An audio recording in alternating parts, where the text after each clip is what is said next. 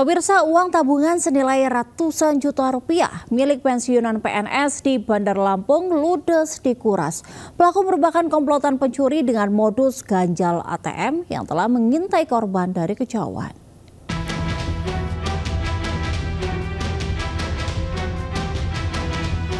Inilah hasil rekaman CCTV di salah satu lokasi mesin anjung tunai mandiri di SPBU Bandar Lampung yang merekam seorang pria seolah hendak bertransaksi.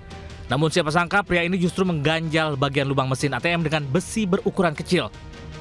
Tak berselang lama datang pria parubaya yang merupakan target para pelaku hendak menarik uang di mesin ATM.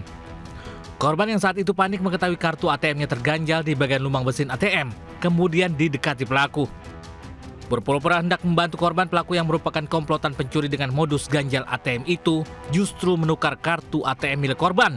Sementara pelaku lain mengintip korban saat menekan kode PIN miliknya pelakunya narik itu jelas ada di sesuai dengan ada di CCTV itu. Orangnya saya ciren itu orangnya itu yang pertama yang perempuan itu kan yang perempuan. Nah perempuan itulah yang ngintip-ngintip dan laki-laki itu yang mendorong masuk ke bank itu. Kalau total kerugiannya berapa yang kita total kerugian saya itu 122 juta 500 hmm. nah, sehingga memang terkuras betul jadi sampai sampai saya waduh stres rasanya bang Berbekal hasil rekaman, korban melaporkan kejadian ke Mapolresta Bandar Lampung dan berharap pelaku segera ditangkap.